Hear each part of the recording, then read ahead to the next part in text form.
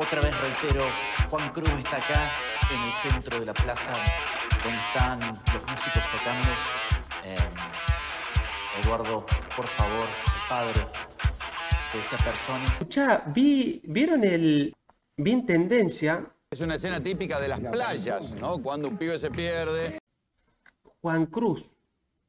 Yo digo, Juan Cruz. Bueno, lo Eh, encontraste a Juan sucedió- Cruz. Sí, sucedió que una del barrio dice que te conocen todos acá, vos puedes hacer algo para avisar que, que este niño, se- Juan Cruz, se perdió. A ver, Eduardo, tenemos que hablar.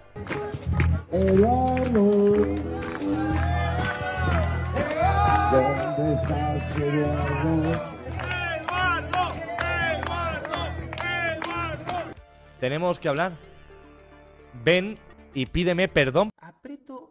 Y no sé si vieron que un nenito se perdió ahí en San Telmo y, y quién era estos cantantes que estaban ahí en, en San Telmo y decía, Eduardo, vení a buscar a Juan Cruz. "Ed- Eduardo, vení a buscar a Juan Cruz. No sé si lo escucharon, es buenísimo. El corazón del área.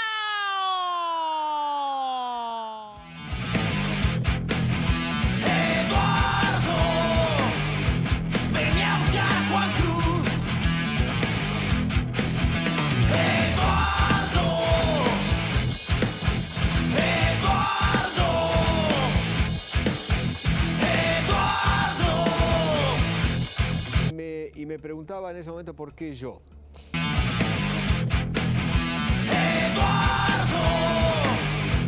Venía a buscar a Juan Cruz.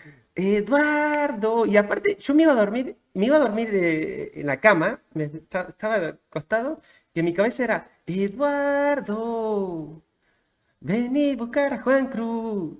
Bueno, ¿cuánto Entre- tardó? Entre, bueno, entre 13 y 15 minutos. Pero estaba muy estremecido, muy, Muy angustiado. Muy angustiado, sí, exactamente. Estaba muy angustiado, era una cosa que ya era más allá del, del que llora histéricamente.